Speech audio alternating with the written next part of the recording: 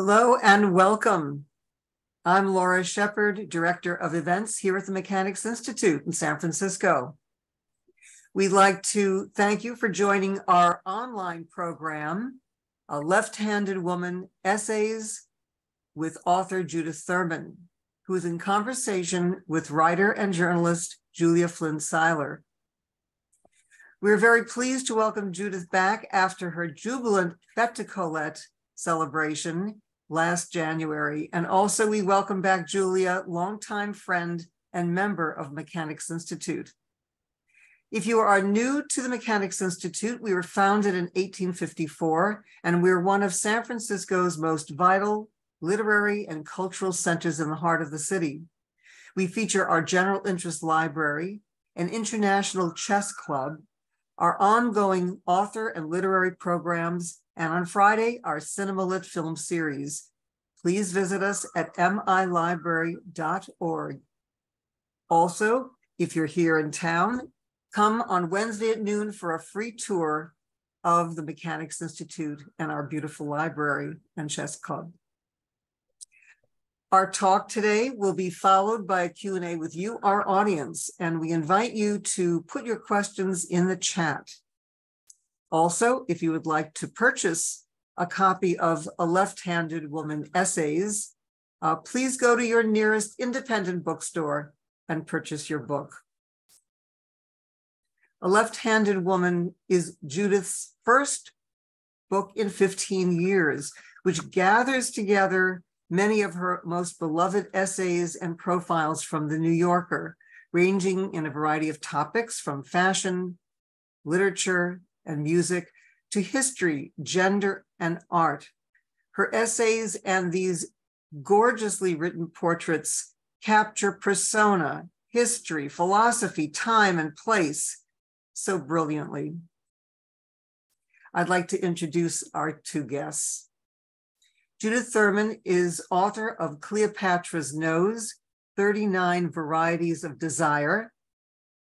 Isak Dinesen the Life of a Storyteller, winner of the 1983 National Book Award for Autobiography, Biography, and Secrets of the Flesh, A Life of Colette, 1999, winner of the Los Angeles Times Book Award for Biography, and the Salon Book Award for Biography. Also, the Dinesen biography served as the basis for Sydney Pollack's movie Out of Africa, since 2000, she has been a staff writer at The New Yorker, and she's here from the Big Apple.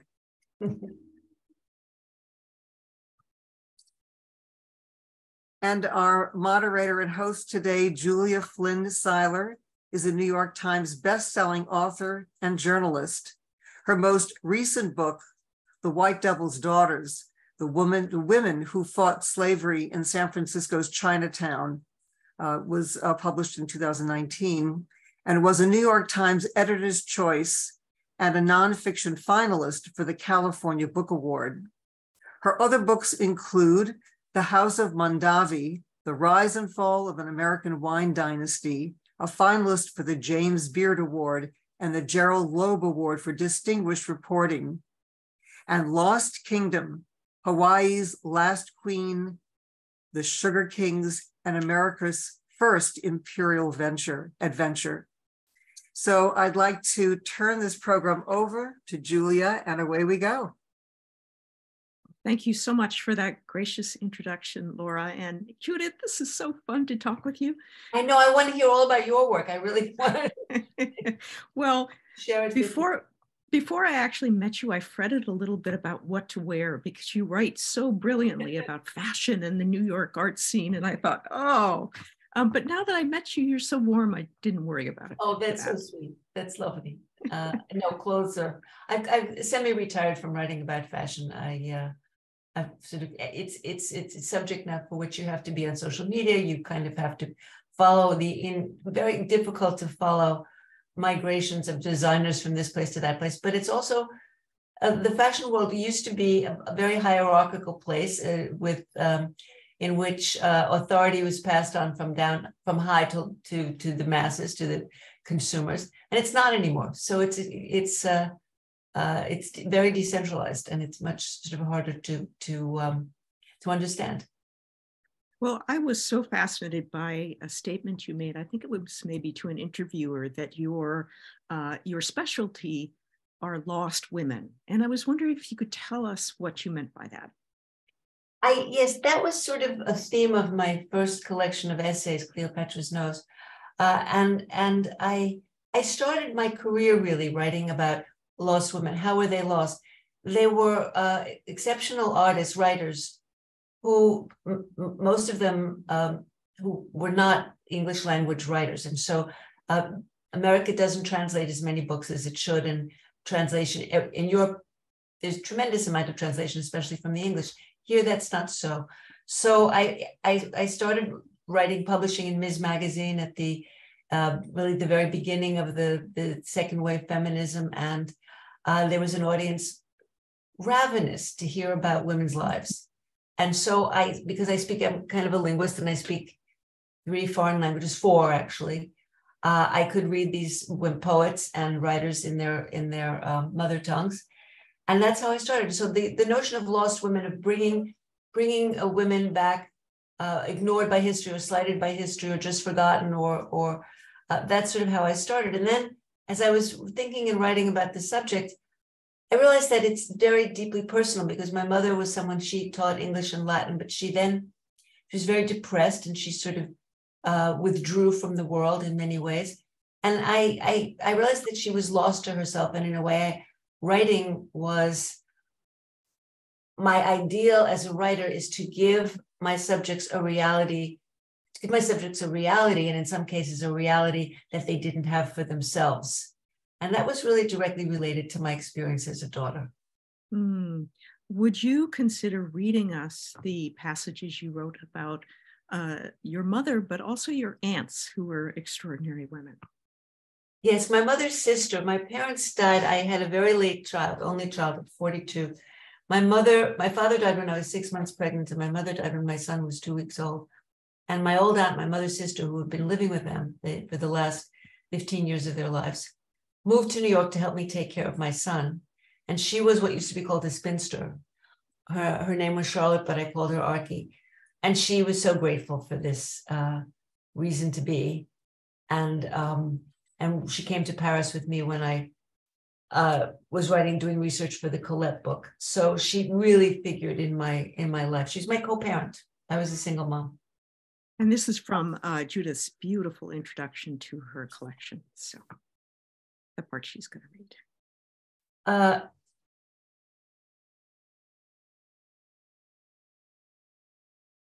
wait, I have to find. I was I was looking. I had uh, tagged another passage. Let me just find the passage with my aunts.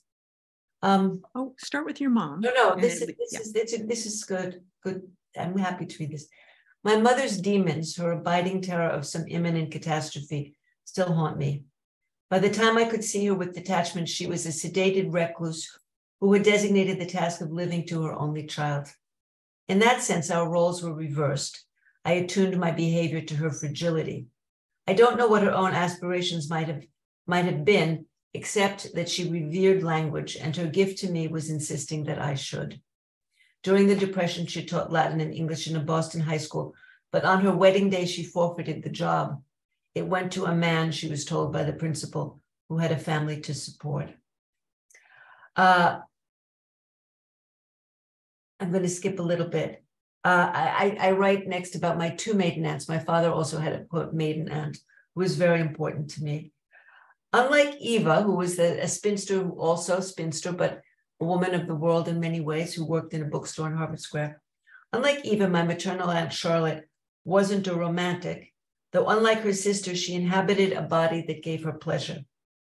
Archie, as I called her, was built like an otter and could swim two miles in the ocean. She taught me to ride a bike and to build a campfire. She had spent her youth as an activist in the settlement house movement. Later, she ran a state employment bureau staffed mostly by closeted socialists like herself. Archie took a dim view of patriarchal institutions, religion, capitalism, marriage. She liked to quote one of her professors at a women's college He has got to be a very good husband to be better than no husband at all. Both my aunts got stuck caring for their elderly parents well into middle age, but then they moved into their own bachelor digs not far apart in Cambridge. They often traveled together adventurously. Had they been born in a later era, they might have been lesbians, and perhaps they were covertly. I hope so, though we never spoke of intimate things. Of course, she was a lesbian, Alison Bechdel said to me of Arkie. I was visiting her in Vermont, reporting the profile in this volume. Straight women didn't dress up as Gene Autry. He was a singing cowboy of the 1950s. When I stayed with my grandparents, as I did every summer, Arkie sang me to sleep in a Stetson, chaps, and a six shooter. Oh, what a character, Arkie. And here's to here's to all of our feisty aunts who yes. have helped us along. Um, thank you so much. That was just great. And let's start. We're going to talk about about four of your essays. There's so many. It was very hard to choose which ones to discuss because they're extraordinary. But let's start with the woman, the lost woman who made Jackie uh, Kennedy's wedding dress. Her name was Ann Lowe. Could you tell her, uh, tell us a little bit about her? Well, I had never heard, despite my years covering fashion, this is a this is a story about racism despite my years covering fashion, I had never heard of Ann Lowe, even though she was a um, a very eminent couturier for uh, Americans, the highest American society, the, the Mrs. Vanderbilt's 400, and for um, and Jacqueline Kennedy's stepmother, um, Janet Auchincloss. She designed Jackie's and Lee's debutante dresses. And when it t- came time for Jackie to get married, uh, her mother wanted Ann Lowe to design the dress. Um, this is this is uh, Mrs. Lowe and some of her work. I heard about her through a realtor on during the pandemic. I rented a shack in the Hamptons to try to just get away and work and and be near the sea. And um, the the realtor's mother had had helped Ann Lowe out in one of her frequent periods of financial distress. Uh, she was a, a, a, genius who was born, um, was the, the granddaughter of an enslaved woman um, in Alabama. And her mother and grandmother had been successful uh, dressmakers in Birmingham for the uh, uh, for the sort of governor's wife and various other society ladies there. And she uh, she started out her career uh, helping helping. She learned her trade from her her mother and her grandmother, and she um, she made her way in the world with it was Jim Crow South, and she had a uh, she was married and she had a son, and they they lived and they moved to Florida to work for very wealthy uh, white family, of course, who owned um, uh, a sugar plantation. So they they they they recognized the society of the Florida Society recognized her talents, but all along she was she knew she knew her worth. She knew that she had something was something special, uh, she eventually moved to New York and always with financial difficulties, um, had a quite brilliant career there. But she was exploited by these um, ladies who uh, proudly wore her clothes. In some case, she received uh, notice for the clothes in newspapers. Um, and she would she would die really nearly destitute uh, at a very old age. She her age is uncertain because she she sort of she was a great storyteller, including about herself. So it's not clear when she was when she was really born. But she embroidered the truth a bit, didn't she? Yeah, she embroidered the truth. But it was extremely difficult to establish the facts of her biography. That's another aspect of American racism because there were very few public records about um, Black Americans in the South, maybe not even a birth certificate or a divorce certificate. It was really only the census that you could draw upon, and it was um, sort of a shocking, a shocking gap, a sort of a shocking void. Uh, and then I, I, sort of did very deep dives into the archives of um, black-owned newspapers in New York around the in the in the years of her of her work in, the city, and I found sort of wonderful and illuminating articles that that even though she was written about by by by fashion magazines and um, uh, in her later years. The Black press was very important, and she uh, was revered in that. So it was, it was hard to find and establish um, and she didn't. She, there were a few letters, including an, an, indignant letter to Mrs. Kennedy that was in the Kennedy Library. Uh, very poignant. She had yes, she had been described. Someone asked Mrs. Kennedy about her wedding dress, and she said, "Oh, it was made by a colored dressmaker." And Ann Lowe was deeply hurt by that reference, and she. Um, of uh, course, because if she had used her name, the commercial yes, potential of that would have been enormous to her. What an easy gift. What an easy gift. And I one thinks that Mrs. Kennedy tried to make up for it later by paying her debts at a at a very difficult moment. But that's but she if if she did so, and she probably did, it was done anonymously.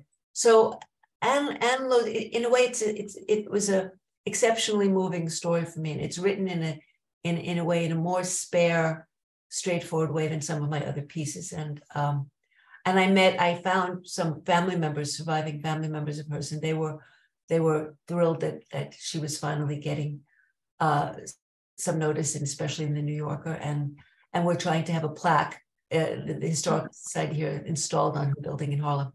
Oh, that's marvelous! I was so moved by that story, and also very um, taken by your diligent efforts to find this lost woman and recreate your life to the extent that you could. It really was a marvelous piece of scholarship as well as writing. She's really a lost woman. She's the lostest, I the think. Lostest. The lostest. Well, not entirely. You brought her back. Yeah, bit, yeah. So. Then there was a lot of there was there was um uh, uh some attention that was paid afterwards. Yeah. Now another woman that captivated my imagination uh, was uh, Lee Miller, and she was a a model. She started off as an American model and then a photographer and then a war correspondent. And you write about her in Roving Eye. And in that story, you say that you suggest that, quote, beauty can also be a form of camouflage, one that successfully deceives the beholder without offering much protection to the wearer. And this is probably the image that most people associate with Lee Miller um, to the extent that she hasn't been forgotten. And this is this extraordinary photograph of her in Hitler's bathtub shortly after um, troops and war correspondents were able to get into the inner sanctum. And I was just wondering, Judith, could you? I mean, there's an extraordinary story about of, of hurt behind the beauty, and I was wondering if you could tell us about Lee Miller's. Yes, it, it's hurt the beauty is camouflage. When Lee Miller was she, Lee Miller was spectacularly beautiful, uh, and um, and so uh, she she experienced the power of that beauty, and she experienced the vulnerability of it. Since since people couldn't see past the beauty to the woman, and neither could she in some ways. Uh, she um, was abused as a little girl, probably by a family friend. It was never determined who had who had sexual she was sexually abused and and the trauma was needless to say not dealt with. Uh, her parents were her father was in sort of an eccentric uh, he also is a very dubious character who was obsessed with photographing her and did so in ways that would now be considered extremely inappropriate and and um, and borderline abusive. So but she was also a wild a woman of tremendous libido and drive and curiosity and adventurousness. She was kind of a bad girl in the old sense of that that world, and she uh, she wanted a life of adventure, and she really made one for herself. She um, moved to Europe, and she became she introduced herself to Man Ray at a great photographer at a at a cafe, and announced to him that she was she was his new student. To which he said, "I don't accept students." And they left the next day on a car trip to the south of France and were together for years thereafter. Uh, and as Man Ray's apprentice and student and, and lab assistant and, and gopher, she did master the art of, she was a very important and original modernist photographer. Uh, but this, the her beauty was such that it was easy to sensationalize. And that's what that photograph does. It was taken by, she was a war, she was covering the war, oddly for British Vogue, because she she had a very she had a bad drinking problem and so she was unreliable and people didn't want to hire her but they saw her pictures of the blitz her striking pictures of the blitz and they said okay if you want to go go to the front go and, and her pictures from um, from the front in Europe were, were extraordinary. And it it was that picture was taken by her friend and colleague and lover. She she pretty much made lovers of of um, many of the men she worked with and encountered, and and people were falling over head over heels in love with her all the time. But it it rather than it, it's it it it, it objectifies her, I think, in um, in a way that does her a great disservice uh, and and probably and it sensationalizes the, the, the risking of her life and the endurance of danger and the political um, the, the anti-Nazi uh, fervor of, of of that work. Mm-hmm. Her courage her and courage. her professional accomplishments as, yeah. a, as a photographer. You wrote this piece, as I recall, in uh, because there was a retrospective of Lee Miller's work. Yes, there was a big retrospective in England and um, and and by chance on the way to the show at the Victor at, at the Victoria and Albert Museum, um, there was a show of camouflage nearby in another another venue, and um, and and Lee there's there's another famous picture of Lee Miller. Uh, her her partner at the time was developing camouflage for the British Army and wanted to try it out, and so Lee Miller posed nude under a netting, camouflage netting on the lawn of their country house. So she lent herself, you know, consent. She consented. She lent herself to, um, to the to to to uh, the the male gaze. I think is a it's a, a, a good way to put it. Um, and and that's where the notion of beauty is camouflage also kind of struck me. Mm, I wish we had this that photograph to share right now. but uh, it was one breast sticking out of the netting, and she was covered with leaves, and yeah, yeah. And how, it was almost how like her, body. Ooh, and how did her life end? Well, her um, she she um, years of alcoholism, of course, took a terrible toll. Uh, her marriage her husband stayed with her but was very unfaithful and and um, at the end of her life she she became a chef uh, she she she got fat and sort of didn't care and uh, uh, and she had a, a, country house that was a, um, a, sort of a bohemian bohemian grove for all kinds of visitors. Uh, and she at the end of her life she became lady penrose who's her husband um, penrose was was knighted. Um, and um, oh, one important thing to say is that she had an, an affair with Picasso, uh, who painted her and who really left, I think, the most telling image of her uh, that there is. And it's um, it's still life, and it's a golden face with green hair and a pert profile. I'm reading from the from the description. An inverted eyeball leaking a tear and caged by red lips lids a blue earlobe with a corkscrew earring, a clenched fist, teeth bared in a smile or a grimace, bulging shoulders, white globes with a brown crust, each bigger than the head, which might be the breasts displaced or a bursting heart.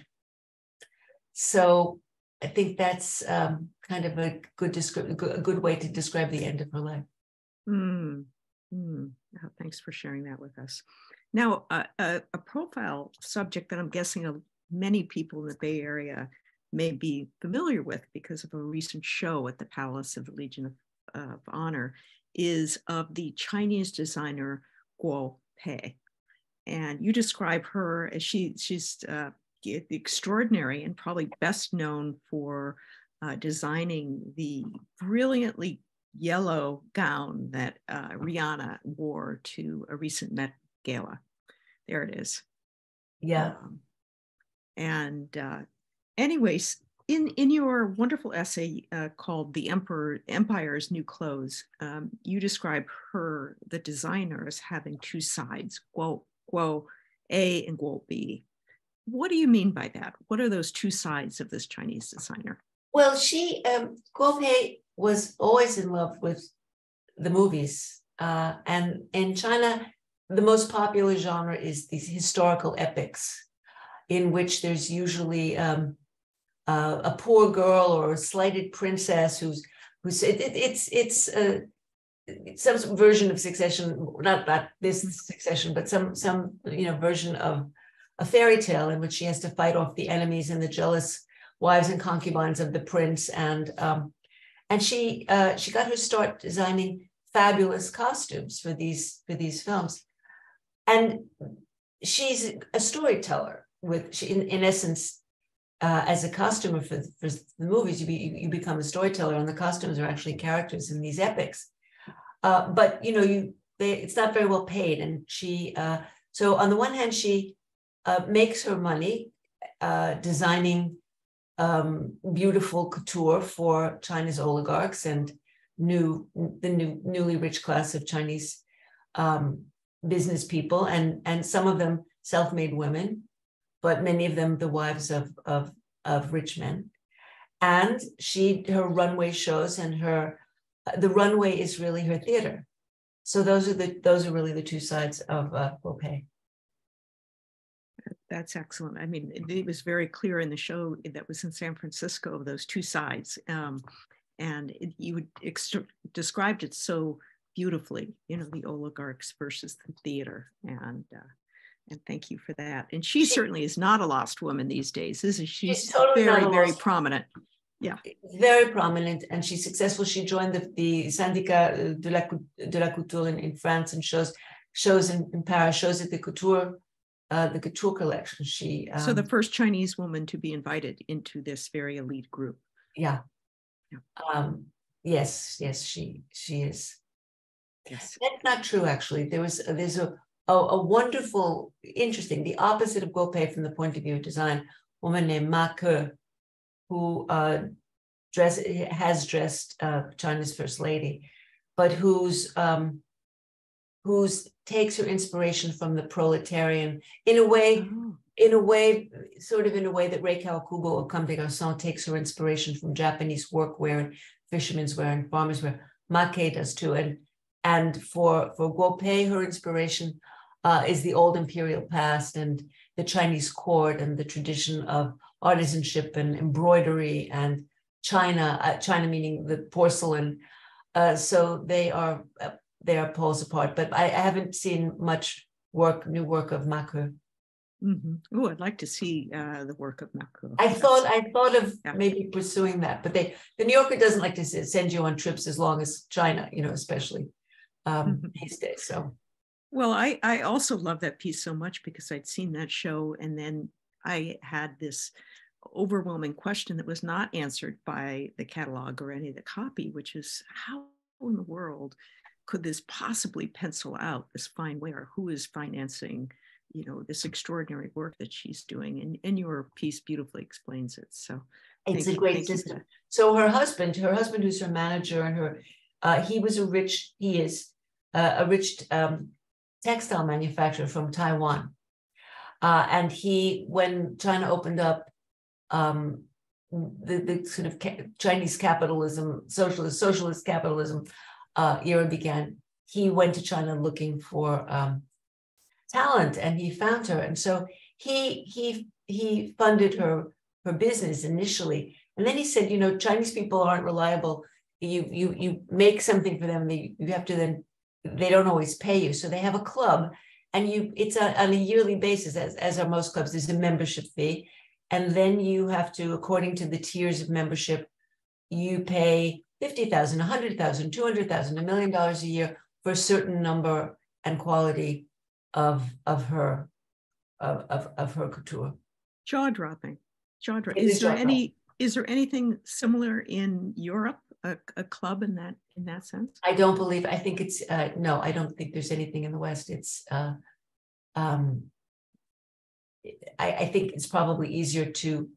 Um, the couture houses know their clients and they know that they're they're if you if you uh, order something they I think they have much more confidence that they'll actually be paid. You'll pay them, of course, of course. So let's let's uh, let's move on to the continent, and let's. Uh, most of us are familiar with the Milanese uh, designer Prada, which uh, I'm not very well versed in fashion, and so I had always thought Prada was uh, someone who designed for aristocrats or the upper class or for, but in fact, what I learned in reading your uh, essay, which is titled Radical Chic, um, Prada herself was a communist uh, in her past, and uh, you talk about radical chic and also ugly chic in connection with her work. The idea that you know women dress to please themselves, you know, with their tongues firmly in their cheeks, um, a bit, and that's that's her genius to to express that. Um, so I was wondering if you talk about Prada a little bit. Well, she's she's um, she's kind of an intellectual. She was uh, first of all communist. Um, it there's okay. You know, this is a woman worth about four billion dollars, maybe ten. I don't know, but it's um, uh, one, two, three, four, six, seven, eight, nine, 10, 11. It's like a 12, she's a 12 figure fortune, 12 digit fortune at least. Um, and and in of course in the 70s when she was young and in university, uh, uh, the students were just routinely left wing. They were they had revolutionary fervor. However, they lived themselves or their parents lived, whatever country houses they escaped to, they were on the side of the revolution. And so supposedly she, you know, marched in protests in her um, she people said that she wore couture clothes to the protest, but she didn't because she loved thrifting. She loved uh, putting together outfits from thrift stores, and uh, and she sort of did it brilliantly. So there, there are again these these Guo Pei one and two, and there's Miuccia one and two, and uh, Miuccia one is the child of the um, uh, the haute bourgeoisie of Milan, unbelievably conservative uh, class of people. Um, uh, with very well regulated gender assignments, uh, including sartorial gender assignments. And she takes, and so she she takes those conventions, the little cardigan and the pleated skirt and um, the little black dress, and she uh, she she sort of adds a radical or subvert. She subverts them. It's really sub. It's not. It's not she doesn't she doesn't um, she doesn't vandalize them. Some some couturiers I think Rei Kawakubo is something of a vandal, but she subverts them. And her clothes are also uh, there's there's an edge of malice to her clothes. If you, which is is interesting, it's a challenge. They are often they can be extremely unflattering. You can look like uh, a governess in them, an old-fashioned prim governess with a bun and you know, little buttoned up things. So what she's challenging women to do is to bring their own subversive energy, their own um, impishness or their own uh, rebelliousness, uh, as she has brought hers to the wearing of these clothes. And you never really know what a Prada uh, dress or suit or is going to look like until you're in the dressing room. She she sizes her clothes low, so you have to get a size larger than you would like to see, and it's it's an interesting dance. Uh, and she it's she's been she's also understood the, the, the, one of the greatest successes in fashion history is the is the Prada backpack, this light nylon backpack that you can that doesn't that doesn't um, that gives you great freedom of, of movement. You can carry you know, everywhere. You can stuff it full of, of of your your your high heels and wear your walking shoes to get around with. So she's uh, she's also um, she's she's sort of also understood that about about uh, design and um, and for me the great designers the people i really am interested in writing about are the ones who really try to imagine a woman's real life and she she does do that i love that do you wear Prada you know i i i have certain yes i i buy all my clothes in thrift stores and resale stores but I told this to, a, in, to an interviewer. Sister, you're a sister to me. I do the same thing. Just exactly. I just, and, and now online, there are these wonderful sites online. But for my 75th birthday, I walked past the Prada store on Madison Avenue, and in the window was the dress of my dreams. And um, I walked in and I went upstairs and I tried on the dress. And the salesperson said, Well, it needs to be taken in shall I call the tailor? I said, yes. They pinned, I hadn't asked the price. They pinned it. And I thought, you're gonna, you're gonna go through with this now. And so I went up to the cash register and I gave them my credit card like this. so that's my Prada dress. well, you have to tell us what it looked like, though. You haven't described a, the dress to us. It's a beautiful black sort of. Uh, it's it's um, sheer, but there's a slip under it, and it has long and it's pleated in the back so that it flows, and it has a placket, a, a, a woolen knitted placket that goes all the way down the front, and and, um, and uh, mother of pearl buttons. Oh, sounds beautiful. It's really great. I'm glad you. and you can wear it over jeans. You can wear it over trousers. You can wear it. You can you can subvert it. As, uh, as all great Prada. It was all the best Prada stuff. Lovely, lovely. Now, your piece on Paleolithic art, it's titled First Impressions, is so wonderful, kind of like shopping and finding your dream dress. In, in that essay, we get to follow your adventures into caves, into this extraordinary place. Um, would you please read to us from the beginning of that essay? And this image is from uh, from one of the caves that you. Yes, it's from Chauvet. It's from the. It, it they've, they've just made some discoveries of slightly older uh, parietal art, um, but this was the oldest for this was the oldest discovered cave for a very long time. It's thirty five thousand years old, thirty seven maybe. Um, I just want to say before I, I read this, it was one of the great gifts to me of, of from the New Yorker of this assignment because I got to I got to uh, go into not to Chauvet but into the cave at Niaux. I got to experience cave art firsthand. I got to live with the researchers uh, in their camp and um, and I got to in a way to consort with our our ancestors, the, the artists who, who painted this. Um, during the Old Stone Age, between 37,000 and 11,000 years ago, some of the most remarkable art ever conceived was etched or painted on the walls of caves in southern France and northern Spain. After a visit to Lascaux in the Dordogne, which was discovered in 1940, Picasso reportedly said to his guide, They've invented everything. What those first artists invented was a language of signs for which there will never be a Rosetta Stone, perspective, a technique that was not rediscovered until the Athenian Golden Age, and a bestiary of such vitality and finesse that, by the flicker of torchlight, the animals seemed to surge from the walls and move across them like figures in a magic lantern show. In that sense, the artists invented animation. They also thought up the grease lamp, a lump of fat with a plant wick placed in a hollow stone to light their workplace, scaffolds to reach high places, the principles of stenciling and pointillism, powdered colors, brushes, and stumping cloths, and more to the point of Picasso's insight, the very concept of an image. A true artist reimagines that concept with every blank canvas, but not from a void. Mm-hmm. So if you think about 37,000 years ago, uh, we take for granted, we sort of take the notion of art and representation for granted, but it began somewhere, and that's where it began.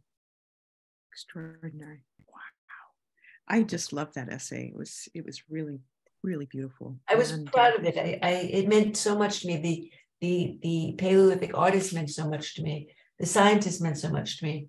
And uh the um, and I was I couldn't go into Chauvet. It's off limits to anybody but the but the scientists, and then they could only be there two or three at a time and for one week a year.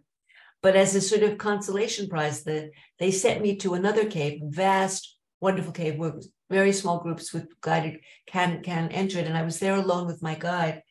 Uh, and um, I, I, just wanted to read the end of it because uh, it that was a, it almost I, I knew I had to describe it, but it was an almost indescribable um, experience. Um, every encounter with a cave animal takes it and you by surprise. Your light has to rouse it, and your eye has to recognize it because you tend to see creatures that aren't there while missing ones that are. Halfway home to the mortal world, I asked aloud, he was my guide, if we could pause and turn off our, our flashlights. The acoustics magnify every sound, and it takes the brain a few minutes to accept the totality of the darkness. Your sight keeps grasping for a hold. Whatever the art means, you understand at that moment that its vessel is both a womb and a sepulcher. Mm. So that I did, I did, that was my great revelation. Mm. And what a, what a deep one. Beautiful. Now you you ended the collection with uh, the essay "Asylum Seeker," and you wrote that during the pandemic. I wonder if you could read to us from the beginning of that. Yes, this this um, reading Dante during the pandemic was a blessing. It was uh,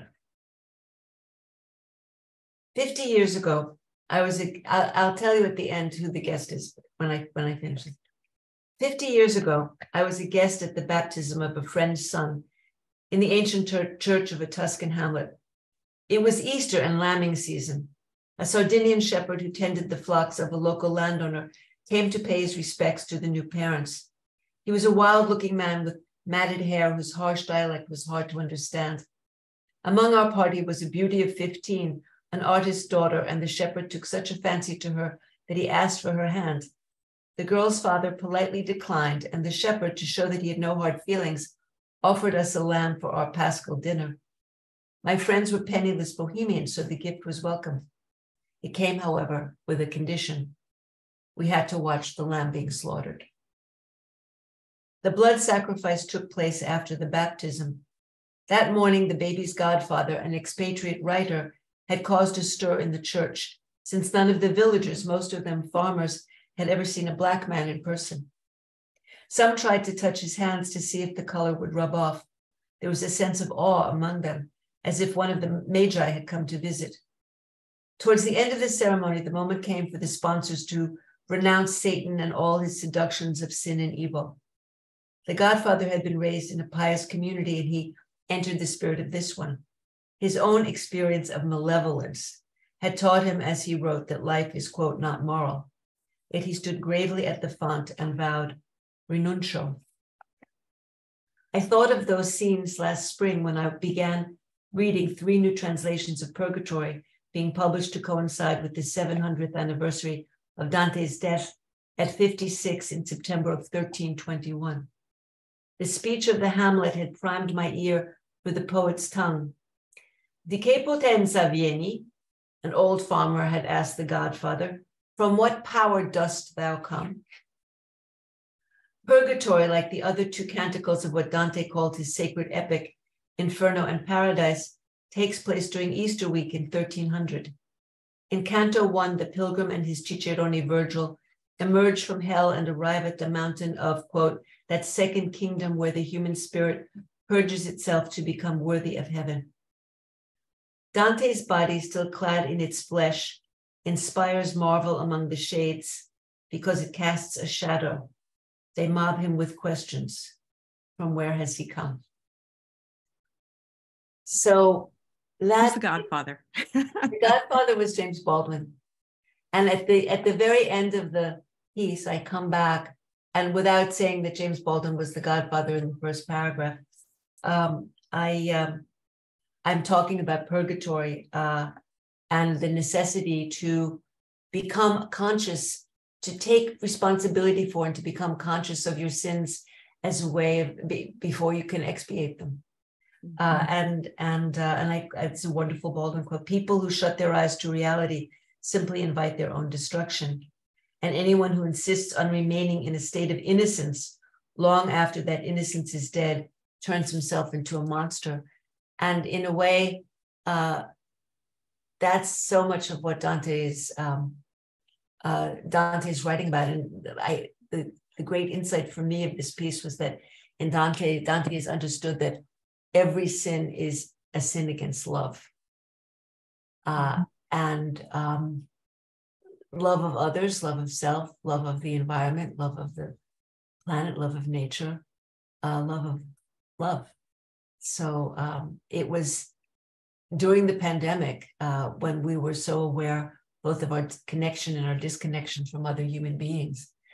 Mm-hmm. Uh, reading Dante was a real blessing. Judith, were you in uh, Manhattan during the pandemic? I was in this room. um, no, actually, I had a terrible flood in the house uh, in July of 2020. And so I was I, I moved around to friends' apartments when the was the work was being done to patch it up. But I was in New York the whole time. Yeah. So it you was, were hearing the ambulances and seeing the, uh, images yeah. and working on this essay about Dante. And walking every day in the park because you you know that was I would walk through the park and at one point there was a, a field hospital uh, in Central Park uh, across the across Fifth Avenue from Mount Sinai. It was it was hallucin it was sort of hallucinatory. These the, the, the, uh, my route, you know, went past Lenox Hill, past Mount Sinai. There was there were um, uh, refrigerator trucks outside of the hospitals for the bodies. Yeah, it was it was uh, it was ground zero. something. Do you think the pandemic has permanently changed your city? I mean, you're a lifelong New Yorker. I've been in New York for a very long time. I'm, I'm a born New Yorker. Uh, yes and no. I think it depends on your age. I think the young people, my my stepchildren and my my godchildren and the children of my friends, they're back to their life. They're back to their pre-pandemic lives. I think those of us who are old and and and we were sort of bludgeoned with the notion of our mortality, and I think that fragility is is um, that fragility lives on. There's still all these out nice outdoor, you know, sort of extensions of New York restaurants that sort of enliven the street scene. I think they'll be with us for a while, uh, and I think everybody is uh, conscious of and grateful to the um, the frontline workers of every description uh, who risk their lives every day. But the mortality rate here was really, really terrifying. I see uh, Laura is here. Laura, did you have a question or should we kick yes. off questions at yeah, this point? I want to thank you so much for this wonderful, inspiring conversation. And I, I want to jump off from Dante because um, what I understand, Judith, is that you also began your earlier career as a poet and that your publisher had met you as a poet. And I'd, I'd like to know about your writing at that time and the style of work, and if you have anything offhand that you'd like to read for Sorry. us, and also to talk about some of your uh, favorite poets or poems. That have well, I, I, that's so sweet of you to to even. I did start life as a poet. I supported. I was living in England. I supported myself as a private chef uh, for a painter and his wife, and uh, worked at the Poetry Society. And I was, um, I was, I, I was very, I was reading women poets. I was reading Sylvia Plath and Adrienne Rich, and, and then I discovered uh, and Sappho and uh, Emily Dickinson, my great, whom I've written about numerous times now. Mm-hmm. Uh, so they were terrific influences, and Louise Glück, and uh, who won the Nobel Prize recently. Uh, so um, those were some of my early influences, and I don't have I don't have the book of poems handy, but um, I and I translated Louise Labé, the great French 17th, uh, 16th century poet, and and Sor Juana Inés de la Cruz, a Mexican nun, great woman, a great, great poet. I began my career as a translator of poetry, women's women's poetry. Mm-hmm. Those those translations were in the Penguin Book of Women Poets. So I was I, I and I, I did the translations of Dante, except for a couple in the piece on Dante, because there's so many translations and to identify them. And I loved doing that. I loved I loved that that that part of the work. Have you done any translation of any of the Italian uh, Renaissance, perhaps Renaissance poets? Gustave um, Stampa. I kept forgot her. Gaspara, Gaspara Stampa. Gaspara Stampa. Gaspara Stampa. I should translate yeah. Stampa. Yes, and and of course, you know, sort of reading and writing about Elena Ferrante was also, uh, um, and reading her in Italian was sort of eye opening too. Yeah, I I just opened your book to that exact chapter, which is one the one I'm going to read next for the Ferrante one. I also have a question about because you know you've had one experience, at least from what I know, on on the Isak Dinesen film. Um, you know, of your many essays, do you see any of your other essays and featured persona as a film i mean what would what would be your choice to have a film made of an essay or a well, character as, per a person it, featured as it happens uh, werner herzog bought the film rights to first impressions and made a wonderful documentary, Cave of Forgotten Dreams. I was supposed to go back to France with him, but I got sick. I had got very sick and I couldn't travel when he was making the film. So I missed that shoot. And I and I and I told Werner, I said, you have to take someone who speaks French because they all think they speak English really well enough, but you're going to get so much such a richer account if you're if they're in speaking in their own language. He didn't listen to me, but the, it was a wonderful uh, documentary anyway. And we have we now have that precious record of Chauvet because I think in time they're not going to let anybody else back in to certainly not to film.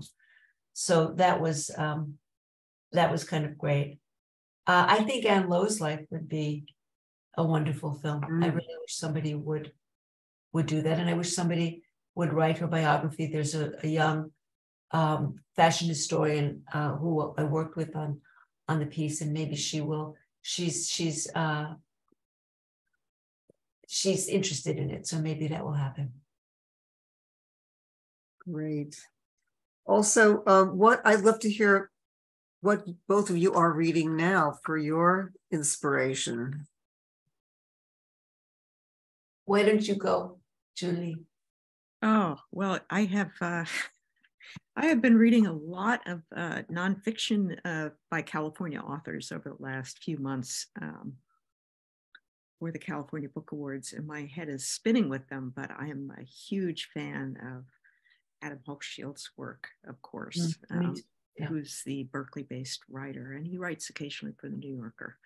Uh, I, I think, like you, Judith, he's just God. He's a master stylist. He's, he's a wonderful writer. He's a yeah. wonderful. He's done some very important historical. Sorry, Julia, who was that? Adam, Adam Hochschild. Oh, Adam. Adam Heck Hochschild from uh, Berkeley. Mm-hmm. We we know him well, and he's come on programs many times, and and also Arlie as well. Yes. So you know we're we're very fond of them. I speaking of California writers, I got my first fan letter, the one that still thrills me the most, from Lawrence Ferlinghetti. it, was, it was for the Dinesen piece in Ms. in 1974, I think I remember. And Lawrence, and I couldn't believe it. I thought someone was was playing a prank, but it was from the station. It was this bookstore stationery, and he wrote to say how much he liked that piece. So you know, he was he was also the Beats. I love the Beats. I was sort of uh, too young to be one, but I I love them. And um, I'm I'm doing a profile for the New Yorker on Emily Wilson, the translator of Homer. She published her translation of the Odyssey a few years ago, and her Iliad comes out in the fall. So that's that's what I've been reading. And once you start, you know, first of all, you have to read every word of the Iliad, which is a thousand pages, and then I've read the Odyssey, her Odyssey before, and then her other books on Seneca and on on death and and um, and all around the subject of of uh, of of translation and and so that's what I'm up to. Right, I noticed that in the catalogs. You know, maybe we're going to try to to get Emily for a program, and maybe you could interview her. Yep, that would be great. That would be great. that would be great. She's based in Philadelphia. I'll pursue that. Um, also, um, what are your next projects that you're working on? Julie. Well, uh, I'm working on a what I hope will be a book about um, an Arctic uh, explorer, kind of a lost woman um, in the 20th century, and uh, I spent about you know I've, I've I've been digging through the archives and having some good adventures, trying to track her down and the traces of her life, and so fingers crossed uh, fingers that it can. Yeah, I'm not sure what I'll do after Emily Wilson. There is a bunch of there's a lot of choice. Uh, there's another story about caves. There's a story about the oldest story. I sort of am staying with the far, the distant past. That sort of I seem to be the the the, the immediate present is so distressing for all kinds of reasons that the distant past is sort of becoming my refuge. But I'm going to where the I, the, the Cleopatra, a left-handed woman won the PEN Prize for the art of the essay, and I'm going to be wearing my Prada dress to the uh, PEN Gala. wonderful. I, yeah, so I'm very happy about having it because I don't have to worry now. Great. When is that coming up? Uh, next soon. Weekend. Very next soon. weekend, uh, the 13th or 14th. Yeah. Great. Wonderful. Oh, that's that's that's fantastic. Well, oh, there's so we'll many. Be, we'll be cheering you on. Yes. Are there any other questions from our audience out there? Uh, Julia, any other questions for Judith that you'd like to mm. share? Mm. Well, the Met Gala, Judith, did you go and or any thoughts? I've never been invited, even the year I wrote the catalog essay for the. Really? Yeah, no. Um, and um, I was very annoyed because I had to go to my book club that night across the park, and it was it was closed. Everything was closed down as if for the St. Patrick's Day parade. Uh, and I, I wrote about there's a piece about Lagerfeld in the book. It's an obituary uh, for Lagerfeld. I think he was an extraordinary virtu- vir- virtuoso, but he wasn't. He to me he wasn't one of those couturiers or designers who really tries to rethink women's experience. So he doesn't interest me as much as Chanel does, or or Miuccia, or uh, Ann Lowe doesn't think. Ann Lowe was, she was, it, she didn't have the freedom, her economic, and the you know the, the racism and the economy of her life and the the lack of her, her privileges that she had to endure didn't really give her the kind of freedom to rethink what it means to be a woman. She was also working for white women. She wasn't. Um, she did have a couple of, of black clients, but but but um, she's exceptional in all kinds of ways. But but yeah, so fine. It's it's um, it's sort of Mardi Gras. It's a one day New York Mardi Gras. The, the Met Gala. Hmm. We do have one question in the chat. Why is the book called A Left Handed Woman?